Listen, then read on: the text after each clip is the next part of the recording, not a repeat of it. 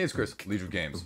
Let's talk MOBAs, but let's do it in a little bit slightly different way than you ever probably have heard before, especially when we talk about them on the tabletop scene. Now, there have been a couple games over the last, you know, two, three years, probably maybe half a dozen, that have done the MOBA esque thing where you've got your different fighters and your different characters, and you've got your lanes, and you're kind of going at it head to head and kind of seeing what happens, right?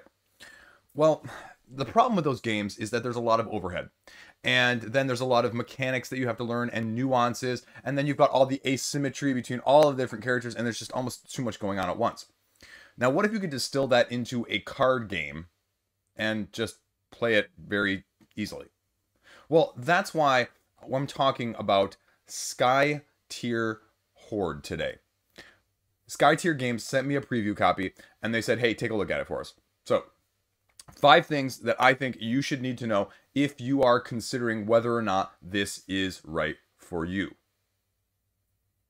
I've had hands on experience. Let's talk. Point number one.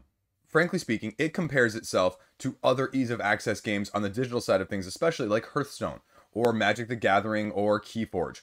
Well, I'll tell you right now, one of the main points of this game, one of the nice things compared to the MOBA side of things, is the ease of access. What I'm holding right here in each hand is a pre-constructed deck of various colors, you know, one for each, that you just can go with. And it sort of reminds you a little bit of more of the Keyforge, where you just have this set designated deck and you can just play it out and try and optimize to the best of your ability. Now, it's really nice because, again, the overhead on this game is relatively low. So it's not going to make you like brain burn you know, everybody has that sweet spot for that game that is, you know, a little bit more complex and a little bit more thinky and AP and learning curve a little bit higher. But you know what? It's nice not to have a game that is like Android Netrunner every single time you pull it out, so you have to relearn it, right? And so the fact that they have gone this route is just frankly speaking kind of nice. I just pull it out and I shuffle it up and I just draw and play. The iconography is relatively easy, the setup is fast, and it just works well from that standpoint. Point number two. Now, this is not my typical game. I don't do a lot on the one to two player side of things. This is not a game where I would have gone, you know what? Send me a solo player game. I didn't realize that this was solo mainly until after they sent it to me. I sat down and looked at it and I said, whoa, okay. But you know what? If you are a solo gamer, this is something that you should be looking at because, like I just said with point one, this is really, really easy to get to the table and play. Really, really works well from that standpoint.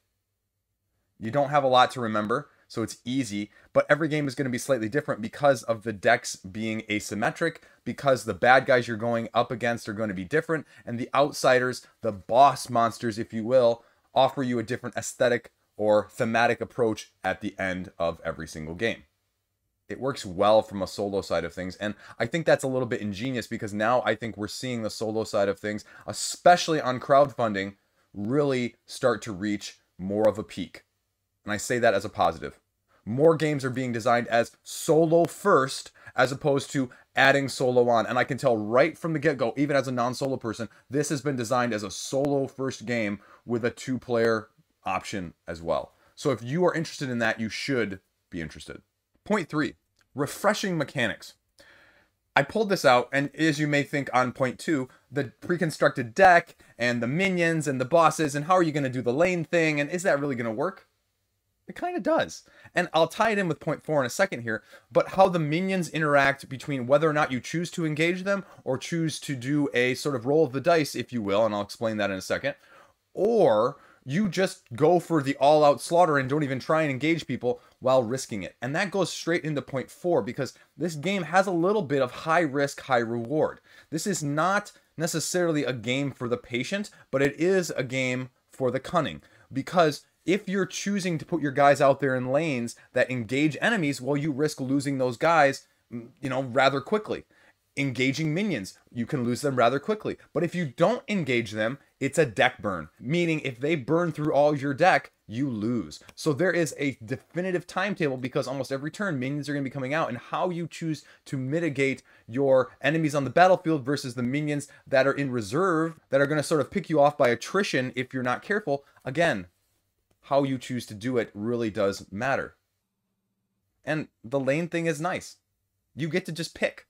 It's not like you have to put here, you have to put there. They give you the option. How do you want to strategize your game based on how you're getting your cards? And again, something I haven't really seen, but is a definite uh, strategy mechanic, is you only draw cards when you beat a bad guy.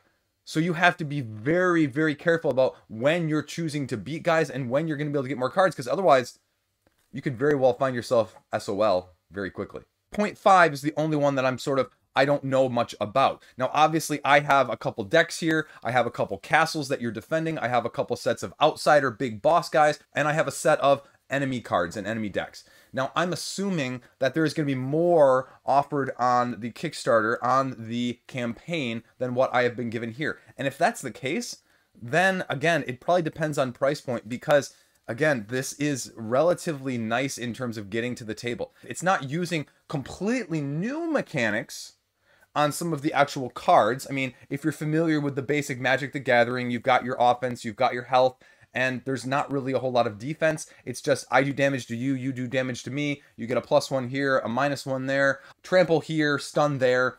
You know, it's basic, but sort of like the similarly uh, basic card game Mindbug from two months ago on crowdfunding.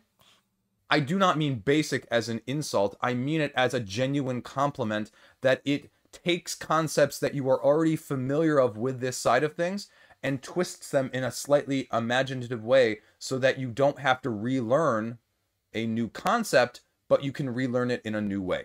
So, all in all, what do I think of this? I think this game is going to uh, really appeal to solo players looking for a card game that's easy to get to the table. Is this going to be an end all meets all, the most innovative thing you've ever seen in a one or two player, even cooperative side of things? No, it's not but does it capture the MOBA esque doing the lanes, especially as a solo game? That if you had said I could play a MOBA card game as a solo person before this, I would have been, you know, a little bit skeptical.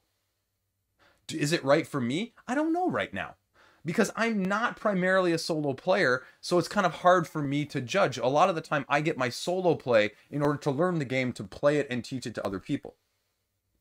So, really, what it comes down to is I think this is going to be a very, very solid solo game for those that are looking for something along those lines when you don't have another partner to play with in terms of your Hearthstone, your Magic the Gathering. You don't want to pay a bunch of money to win or to get in, and you want to have a little bit of variability. It reminds me a little bit almost of like a Marvel United, if you will, only as a card game that's just low overhead, going to appeal to more people, especially from the solo side of things, and still offer you a challenge with a relatively luck based system just by the fact that it's a deck and you're having to draw cards and mitigate and you're going to lose some by burn and you're going to have to adapt your strategy while knowing what's in your deck in the first place but also not having to create your deck. And that's i guess the other thing i didn't talk about here is i don't know if they're going to be adding options to sort of modify your deck or not. I don't know. So that would be another interesting aspect.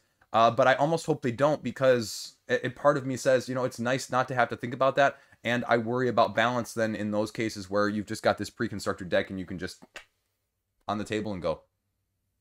So there you go. Skytear Horde. Check it out. If you're interested, let me know if you have any questions or concerns. And I believe they're going to have an early backer. So if you're watching this in time, uh, you can get the early bird for whatever they're offering. Thanks for watching. Stay classy. Let me know in the comments section. I'll see you around.